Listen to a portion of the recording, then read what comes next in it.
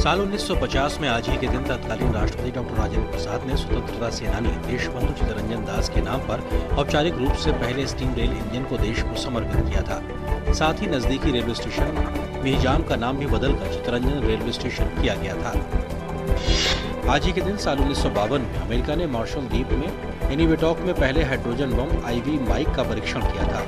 Einsteinium और फेरमियम तत्वों को पहले हाइड्रोजन बम परीक्षण के मलबे में खोजा गया था।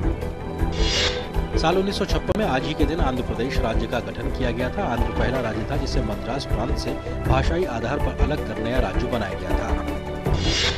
आज ही के दिन साल उन्नीस सौ छप्पन में मध्य प्रदेश का गठन हुआ था, जो क्षेत्रफल की दृष्टि से देश का दूसरा सबसे बड़ा और जनसंख्या की दृष्टि से छठा सबसे बड़ा राज्य है। साल उन्नीस सौ छप्पन में आज ही के दिन केरल का निर्माण हुआ था और इस दिन हर साल केरल पिरावी दिनम मनाया जाता है।